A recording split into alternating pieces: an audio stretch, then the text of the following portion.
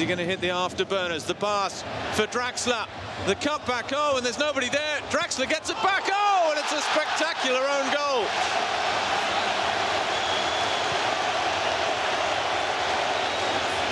Well, did he do that on purpose?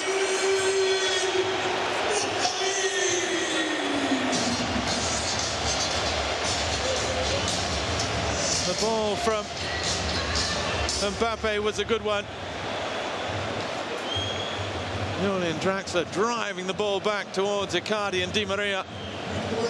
And it's Marçal who can only blast the ball into the roof of his own net.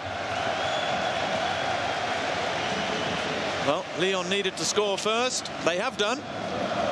But into the wrong goal. A nightmare for Gregory Coupet, the former Lyon and Paris Saint-Germain keeper and goalkeeping coach. It's a disastrous goal to concede. And now perhaps it really is game over. Well, the whole of the ball clearly didn't cross the whole of the line, I think.